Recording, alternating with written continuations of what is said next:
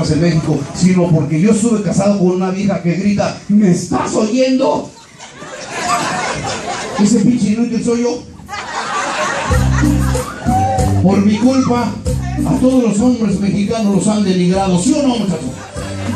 ¿A qué, a qué hombre le gusta que le digan, me estás oyendo inútil, rara dos patas, me saludas la tuya, lo tienes del tamaño de Dominico, ¿qué es eso? Pinche vieja se enojó porque, a ver que levante la mano todos los que han ido de, luna de miel a Acapulco, ¿cuántos somos? No, si ya soy único jodido.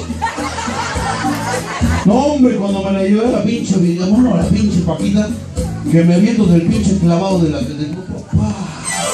Luego me la llevé por el pinche revolcadero. Toma, Y luego terminamos en la laguna de tres palos.